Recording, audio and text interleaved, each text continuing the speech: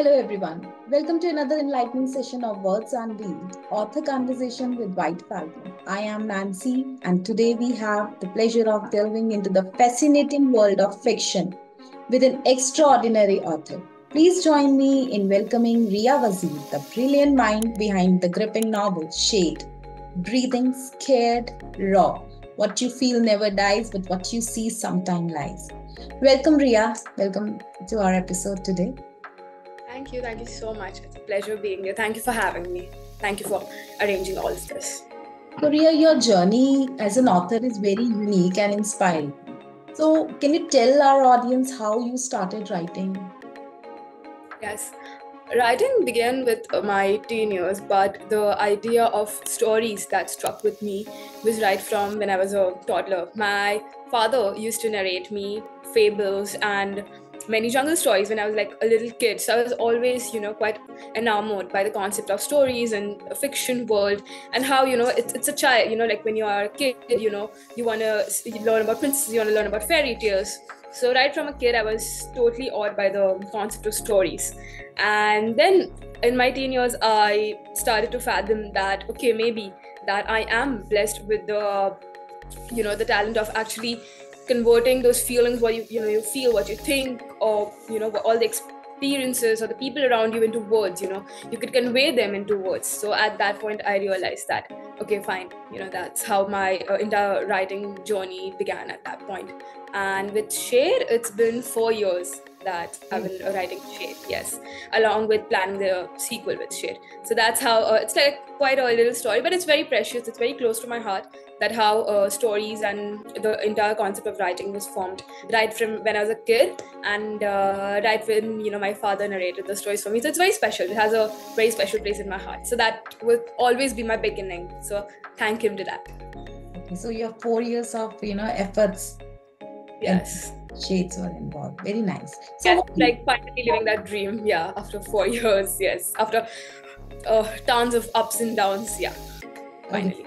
So, what inspired you to create such a complex and multi-layered story?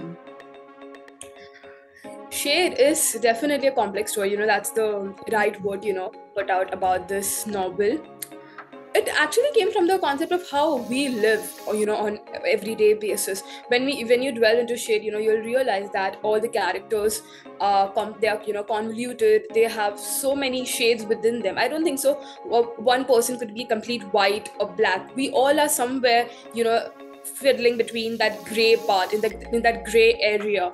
But my characters they are finding you know all the colors. They're finding you know they're running into all of the shades you know of uh, either it could be love either it could be misery either it could be loss or either it could be you know failure and success together. So i think from people people like us people like you know you and me and our friends and our family and you know co-workers or anywhere around you look and you will you will find that truly that you know no one is totally have anything figured out. No one is you know totally um, got it all covered or you know they know what they are you know going into their life. We all are somewhere fighting. We all are somewhere struggling. We all are you know somewhere reticent. We somewhere want isolation but we even want to be known. We are you know individuals with great opinions and mindsets. And at by the end of the day we even want to be you know embraced and to be known and to be recognized so you know it's like a, um, a complex feeling you know there is there's contrary to white and black there's contrary to feelings to mindsets and then we have our own mind that every day we you know have to battle with so many other things not just our work but along with our emotions along with all the society pressure that it creates. So i feel you know with all these all these you know feelings that a human is you know encompassed by I created all the characters. And with Shade, I think it's um, pretty known that, you know, the genres mystery, horror, and thriller.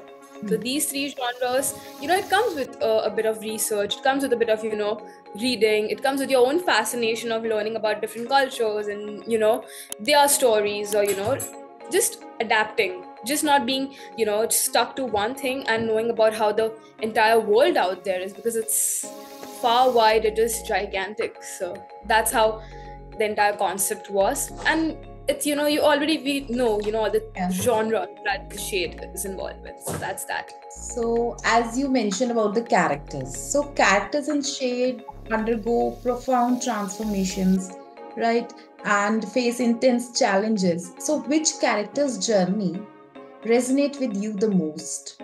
Like with Yes. you or any experience in your life, you know? Yes, uh, definitely.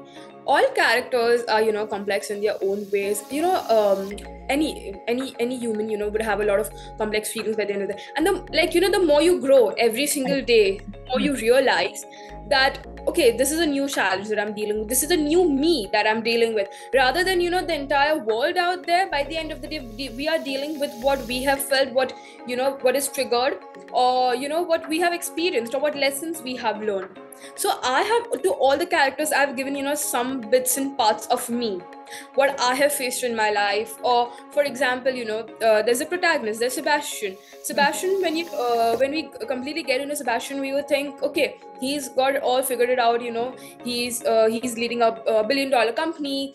He's already working in mafia. He's you know already got all figured it out. But under the surface he's dealing with a lot of things. He's had a past. He's had to leave a lot of things for that and even he doesn't know where he wants to you know end in his life. And at this point even we don't know what we are you know working for tomorrow. But we are working.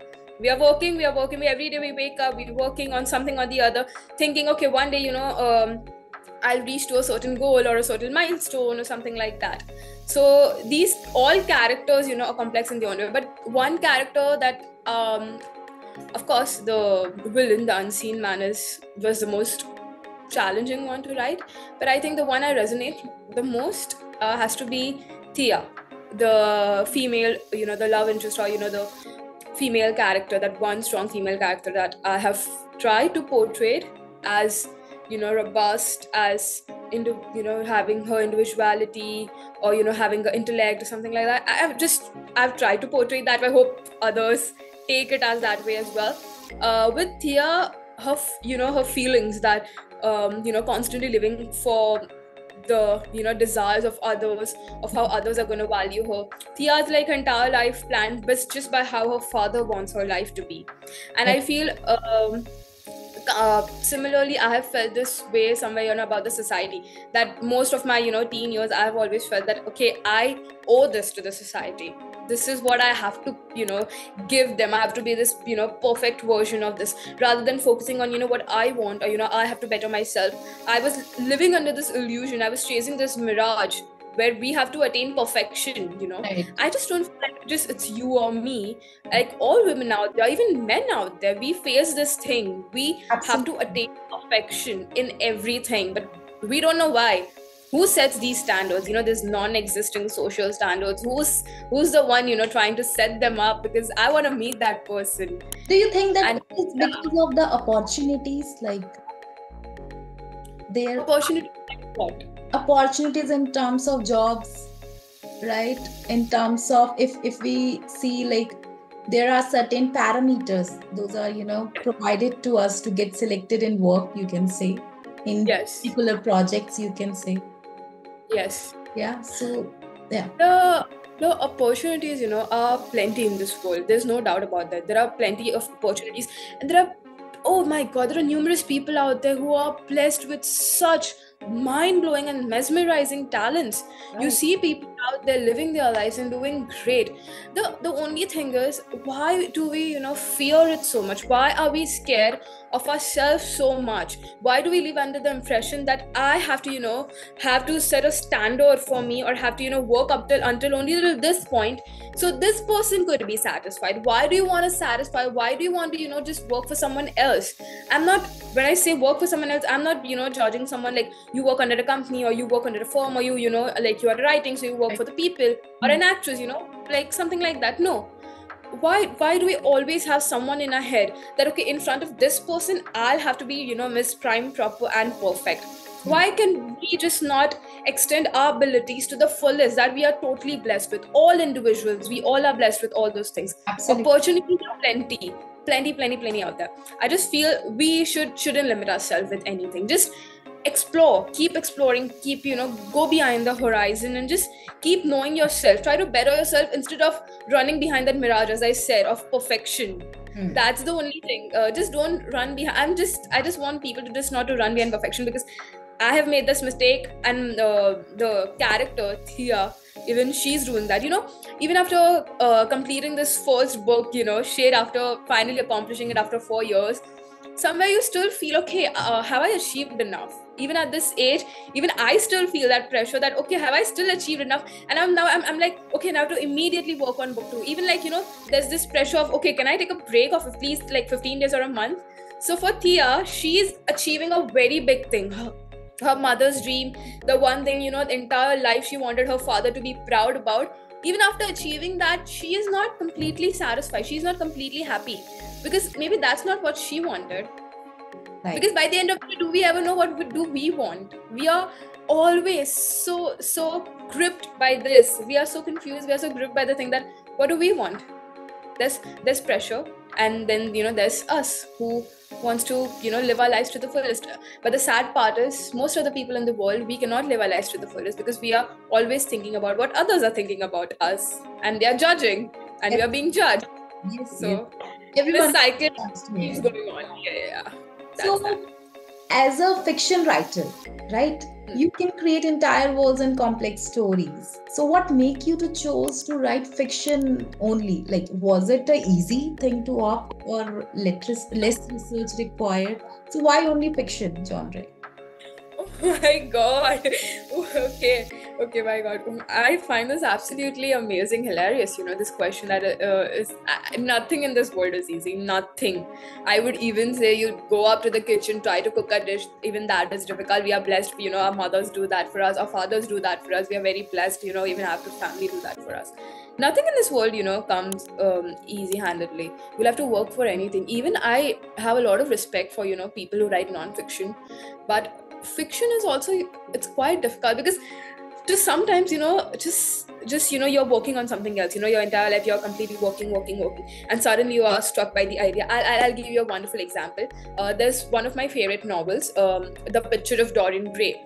And uh, i was reading about you know the uh, the author oscar wilde. I was reading about him and how you know the idea struck to him. He actually once met his friend and they were you know looking at this uh, maybe in his art gallery or somewhere and he met his friend and they're looking at this picture and he looked at this picture and you know even like just instantly he just thought it's so bad this picture is so beautiful this picture gets to live in entirety like like we look at Mona Lisa, she's still beautiful. Like you know, the the flaming June. That's one of my favorite you know paintings. When you look at her, she's still like breathtaking. And and uh, then uh, you know the author uh, immediately thought, what if this painting gets old and the person gets to live? And that's how the entire concept of dorian you know grave is brought up. You know in these little little instincts we might find some brilliant ideas. But you know sadly we all cannot be oscar wilde. You know we are regular people. We are mediocre. We are not as great as him. We are trying to be. But yeah uh, with the world building it did take a lot of research for me. You wouldn't even believe um, it this uh, genre might involve you know mystery horror and thriller but in my process, I was even learning archery. Because you never know any scenes might pop out, out, out, like out of nowhere. I was you know like watching videos. I was reading about um, archery. I was reading about fencing about stuffs like that. Because you don't know how many you know maybe layers or uh, sort of elements you could add into your story. Non-fiction does have its advantages that you know you can get inspired by a lot of things that are real. Mm-hmm. but fiction it requires a lot of imagination. And i feel that's such such such a bliss. It's the most beautiful feeling in the world to you know just close your eyes sit let the you know wind you know sweep through your faces and your hair. Calm down and just imagine. Just get just get you know lost in that world. And you don't have to think about the reality that you know that really sets on us. It's it's a little hammering but yeah imagination that's a bliss. And that's a bliss for me. That's my blessing. And i'm very happy about imagination. And uh, for me yes uh, fiction requires work. It requires you know world building and characters and all the complexities. But for me that's my thrillers. That's my happiness. So i think fiction for me comes from my point of happiness as well as all the sadness that I have gathered in my life, all the losses that I have witnessed, or the exper- experiences that I have got.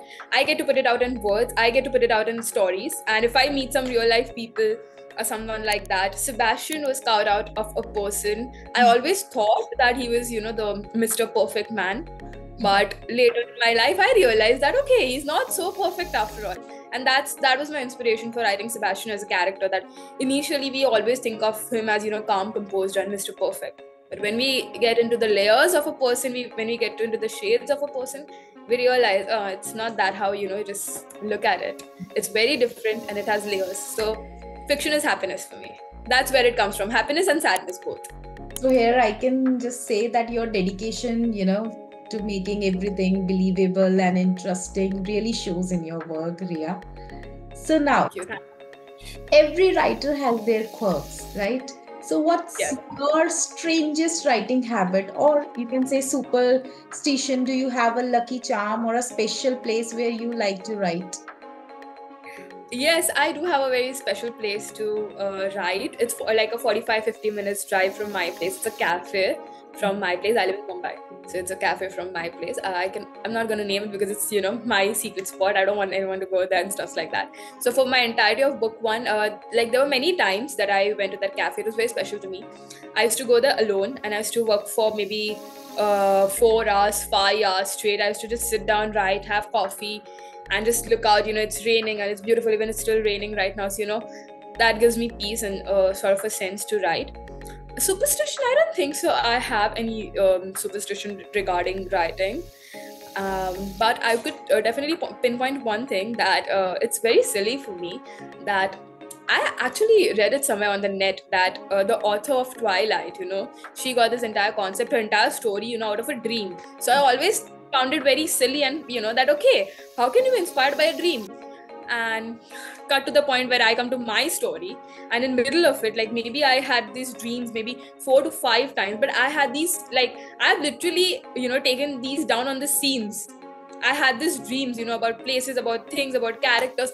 And like, the next day i woke up and i'm like oh i need to i need to write this. I need to write this. Before i forget it i need to you know encompass it. I want like you know put it down uh, in in, the, in this chapter or in this scene or with this character. I'm like i need to do this. There was a very beautiful scene you know I, I don't remember what chapter number it was, but it was like a nice graveyard scene where it was raining and this you know this this man walking to the tombstone and you know he's uh, uh, you know uh, dedicating the flowers and he's bleeding and it's raining and stuff like that. This entire scene and, and I just you know had this in my dream. This entire thing, I, I don't know how I was dreaming about this, but I was dreaming about, you know, he's like walking through an abandoned temple, and you know, there's like dense forest around him with mist, and it's raining, and he's in all black. I'm like, wow, this is perfect i need to write it down. So sometimes yeah, yeah. dreams help me so that's silly for me at least. I count it as silly not i don't know about others. But yeah the secret spot that i have uh, worked for me for book one but for book two i'm looking out for new places right now. You know that can inspire me and you know be my secret spot or lucky spot or something like that. So, and lucky charm is nothing like that you know. It's like every day is a new day you know. Every day you learn something new you know you grab something new. So that's that. Nothing as lucky just you know be yourself and you know let your imagination you know loose run wild as much as it can. That's the only mantra for me. Yeah. It's really interesting Riya and it is amazing you know how simple things can spark creativity right? It can. It doesn't have to be you know so uh, out of the blue or the, out of the ordinary all the time. It can mean simple things you know it could be relatable. Yeah so have you ever included any funny or embarrassing moment of your own life in your story? Funny or embarrassing moment? No no no sadly no. I've, I've not had many funny or embarrassing moments in my life. I've always been a very gathered person weirdly. Yeah I Always been a gathered person. There's just once uh, i embarrassed myself in front of a teacher by answering a wrong question. Then i still think about it because i've always been you know teacher's favorite first bencher and that kind of a student. So i've never had uh, any that kind of embarrassing moment. But if you ask about um, emotional and vulnerable moments then i've added many many. And especially through thea when once you uh, get in the book and her equation with her father and in later uh, chapters you'll realize what i'm talking about especially in chapter 23 i've written a very uh, beautiful message about her father that's very close to my heart it's a person that's very close to my heart so with Thea, I definitely share a lot of uh, vulnerable and emotional moments. Even in uh, love and loss, and entire situation. Yeah, I've uh, resonated her with a lot. I think definitely. So, uh, actually it's fascinating how real experiences can sneak into our stories. So so uh, shade explores themes of revenge and redemption. How do you handle the darker side of your characters? Motives while keeping the you know humanity intact. The darker side of my characters you know comes from the concept of how metaphorically we are stained by the devil um, if I, you know, if, if I, if you know, we are always tempted to cross the line. We cross the bar. We are always tempted, you know, uh, to maybe cross the line or you know, go out or do the bad deed or something like that. We always um, sort of in that danger lurking, you know, on our heads that our innocence is going to be stained by something or the other, in you know, some situation or the other. You know, what doesn't kill you makes you stronger that's that's how we every day we uh, work on that path. But for some people i think we cross the lines. We uh, cross the lines we are tempted. And uh, people say that you know devil comes with uh, like entirely red with two horns and stuff like that. Maybe you know all you know religions have their different beliefs. I don't know about it. But i could say that de- our demons truly lies you know in our weaknesses in our you know vulnerable moments in our anger and you know uh, different different things revenge doesn't just come from you know like okay a villain is just in, like he's not born out of no motives. Okay he uh, like he's not like no no one wants to you know one day get up and be like i've decided to become a bad guy today you know let's just do that. Uh, because i've decided i want to do bad things i'll do bad things. No we, we don't do that you know. We have so many stories. Even you know even if we, if we look at the devil he was a fallen angel. Even he was you know wronged in some way or some man or the other because many in many uh, ways i feel the moment you rebel the moment you try to you know uh, be yourself you know you want to stand up for what you want all all the others you know would put you down and you know uh, put you in the name of devil. I mean if, if we even look at back in the history of witch trials uh, any any any woman with in, you know like an intelligent question or you know like science or knowledge or anything was considered a witch and burned there were so many cases not just you know even women even men were tortured that way. So revenge doesn't just you know comes out of just being bad. It comes you know with a nice uh, entire you know like something's been wrong with them or something or the other you know been wrong with them or bad happened with them in the past. And that's why he's you know uh, came uh, you know came like along the line for revenge i wouldn't say there's uh, redemption for any character because if you look at it there's villain and then there are morally great characters in shade there's no one as perfect. All are great characters. No one is perfect. They all are dealing you know with their own demons you know in the line. That's what i you know i was uh, mentioning about this thing that there's no black and white. We all are you know dwelling in that gray color and then we all are tempted to uh, cross that line. So these characters are morally gray so there's no redemption for them. But for the revenge plot if you ask me then you'll have to you know read down the entire story and you'll uh, get to know why uh, the entire revenge plot has been set. But one thing that i'm extremely proud about and extremely extremely you know ecstatic about is the villain the unseen man. I love his backstory. I love how he's you know seeking revenge on the deluca family or it could be sebastian or it could be thea in all the ways possible. And i love how all the characters you know are just all together trying to find this one man and they still cannot you know put him down and I, I love that like you know that's when horror enters in you know when you talk about revenge and redemption. But then there's my favorite genre of all time. There's horror in it. So i love you know that entire aspect and then how the mystery unfolds. So um, that's that. That's how the entire revenge plot i think runs for me basically and the characters. As i have worked very closely with you Riya so i can say that yes your approach of exploring their inner struggles and growth yes. is like a compelling way to keep readers engaged for sure.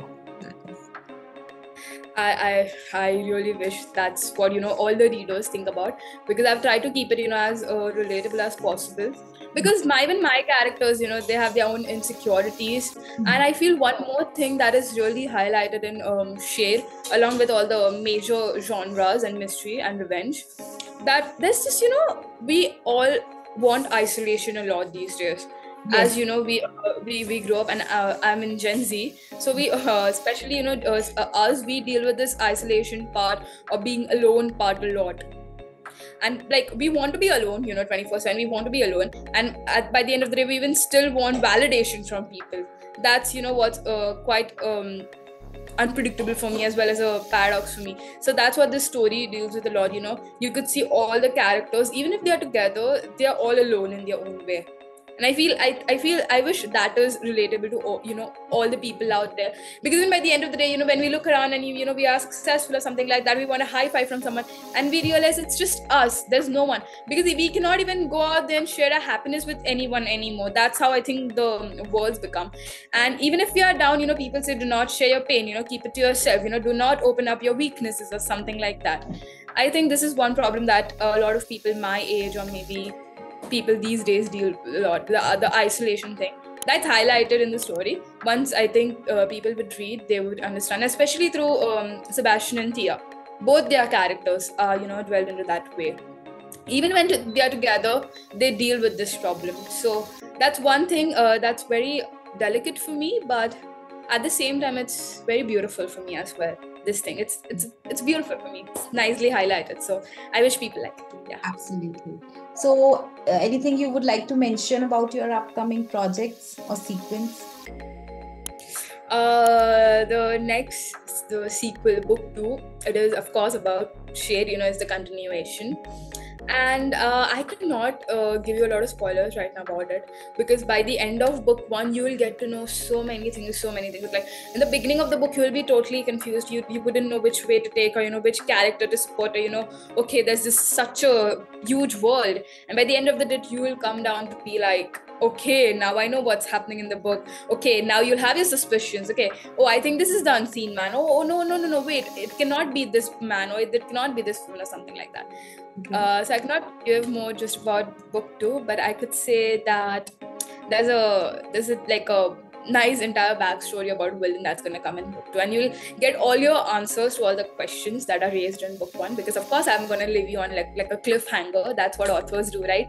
We are hated for that, but I think when you're on the other side, when you're on the writing side, it's very fun, you know, to live like people on cliffhanger. So you'll have to um, wait for book two. It's of course the sequel for Shade. Um, don't want to, you know, be in a rush and release the name of book two. I already know the name of book two. I think I maybe I've mentioned it to you as well. Or haven't we haven't had this discussion maybe then.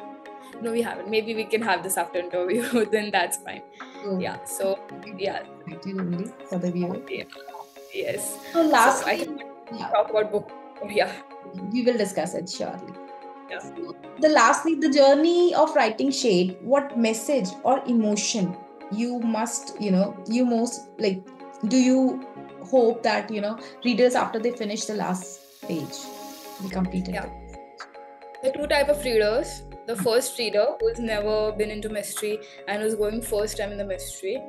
For them, I want the end emotion to be uh, to just you know be on the edge and just want more and more and more and more and more of it. I just want them to you know keep wanting more keep you know like going back and like you know trying to analyze the characters because that's what i do a lot whenever i'm you know reading a mystery novel.